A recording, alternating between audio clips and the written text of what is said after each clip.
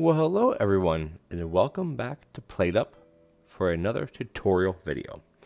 In this video, I'm going to be showing you how to fully, that's right, fully automate making toast for the uh, breakfast dish. Now, there are a couple ways to go about this. Typically, when you start doing your auto toast, you could automate it from the hob to the prep station. And then you can incorporate things like portioners and then things like combiners to make the dough itself. So I'm going to go over the full setup that I have here. Now, the freezer isn't necessary, nor are two frozen preps aren't necessary. And the prep stations could even be regular prep stations, which I actually have one over there. They don't have to be frozen. Um, but if you have frozen ones, it obviously will cut down on the initial time it takes because it does have a bit of a process because you're actually cooking a loaf of bread on a safety hob, so it does take, take quite a bit of time. But without further ado, um, I have two safety hobs. I have a combiner, a portioner, I have a sink. Again, the freezer is optional. Uh, I have two frozen preps. Again, one would, would do the trick. You got your bag of flour, and then I have a assortment of conveyors. Now, the smart grabbers could be regular grabbers in this situation. They're just smart grabbers because that's what I had on hand as I was doing this run. This is an OT7 um, breakfast run, so this is what I've accumulated. But again, these could be regular grabbers, and you'll see why in a minute.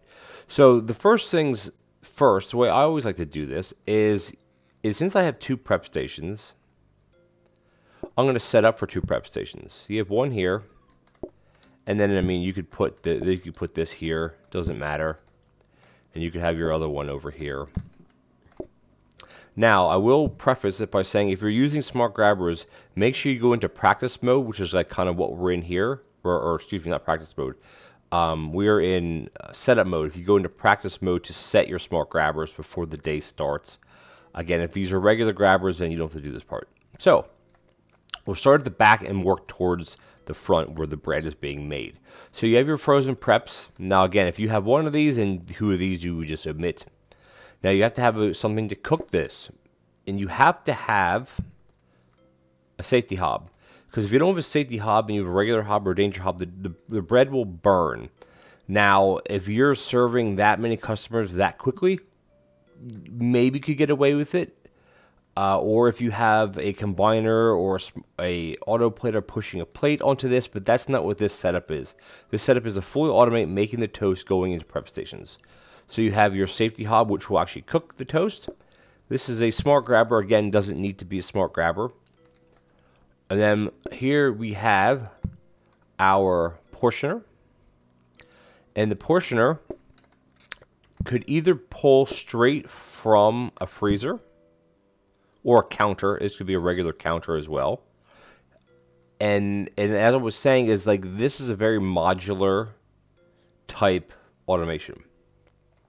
So if you have this part set up first, because typically you won't have all these materials at one time. Say you have this much, you have prep station, you have a safety hob, you have a portioner, this is all you really need. You can make your bread in your oven, which you always get in the beginning of the day or the beginning of the run. I got rid of my oven because I have this automated, but you could have it like this. You put your bread in the freezer or bread on a counter, and this would work just fine. But we want to push it one step further.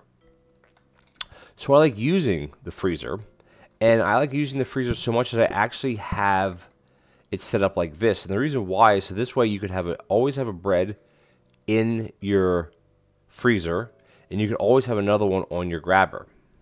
So that way you actually have two. So as the dough is being made, especially if you're doing this part by hand, you have two full loaves ready to go. Same thing with having two prep stations. So anyway, we have our freezer set up here.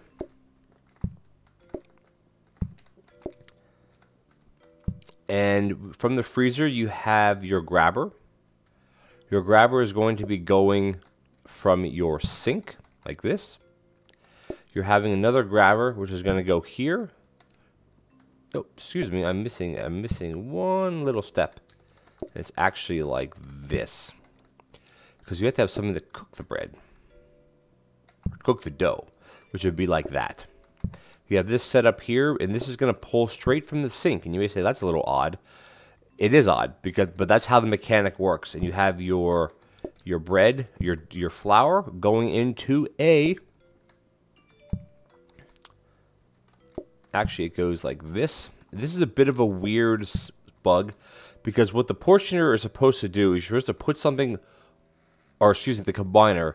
Um, it's a bit wonky because the combiner is supposed to combine what is on it into something where there's nothing on it. And but for doing bread, it's set up this way because the grabber, or excuse me, the portioner kind of, or the excuse me, the combiner, actually is grabbing the water in a sense and applying it to the flour. Is a bit weird, but this is basically it. Now you could set this up in any different fashion, but let's run through a day the doors are very wonky in this restaurant, so excuse me because all the things are here. Let's do a practice mode, and I'll show you exactly how this works. So what's happening is the flour is coming through, it's interacting with the combiner that's pushing water into it, which makes your dough ball. And now here is where you're making your loaf of bread, which as you can see, it takes a long time. So the way you would do this, or the way you would properly do this is at the end of your day, you'd want to make sure there's a full loaf in here. And if that means manually taking out the loaf that's half used and putting in a fresh one from here, that's fine. So the loaf's going to go into here. The portioner is going to portion right from this. Again, you could have a grabber in between these to give yourself a little bit extra space, but it's not needed. Again, the smart grabber is irrelevant. This smart grabber is also irrelevant. These could be regular grabbers, as I just mentioned before. It just so happens I have smart grabbers. So you program this one to taking finished bread, finished toast, and you have this one having the uh, drawing it from the freezer. And as you see, if we take some from this, take another one from this, take another one which you don't have space for, but I can put it there. You see it works flawlessly. Once the system is backing up, I'm going to clean this. Once the system is backing up, depending on how fast you're serving, this should be able to keep up with it. Now, I have, um, I'm not sure how many customers I had. It was shown before practice mode. We can actually get out of practice mode. In this restaurant right now, I have 76 plus 10. Um, I will be able to keep up with two tables. I'm only running two tables in this restaurant, individual dining. So this setup keep can keep up with a consistent flow of 70 to 80 customers per day. If that gives you any indication. Now, if you're not having enough flow, you could tweak this a bit where you have a grabber coming off of this going into another safety hob basically you're you you would be duplicating what the setup is over here and you'd set it up this way. So say this didn't exist you would have this one going in like this this one going like this and then this one going like this. And i mean somehow you would want to configure it that way because the the portioner portions quite quickly um, compared to this. And i can actually demonstrate this a little bit because we have a partial loaf. Come on please partial loaf in here. It's not ideal, but the gist is there. So to portion that one, one will go there, and one's going to go here. So you're actually cooking it twice as fast compared to just cooking one at a time. Again, that's just a, a another way you could set this up. But the the the automation that I've shown you here is how you fully automate a breakfast with some optional things.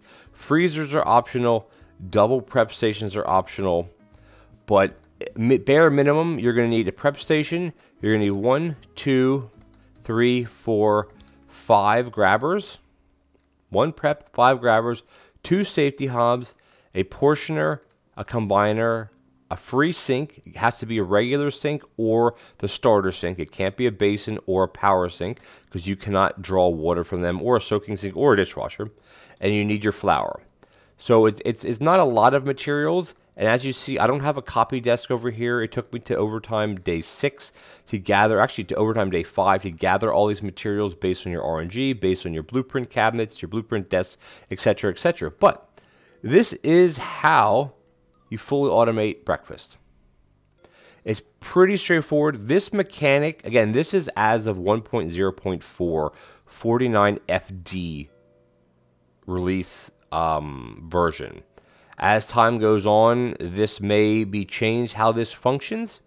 So keep that in mind with any automation tutorial that you may see out there, whether they're from me or otherwise. As patches get released in the game, the functionality of some of these things may change, but as of recording this right now, 1.0.4, this is how you fully automate making toast for breakfast.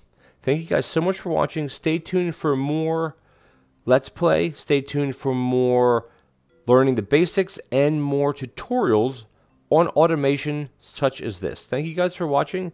Please comment, like, and subscribe. Find me on Twitch at The Ontario Gardener, as well as on Discord at The Ontario Gardener, and I will see you guys in the next automation video. Thanks for watching.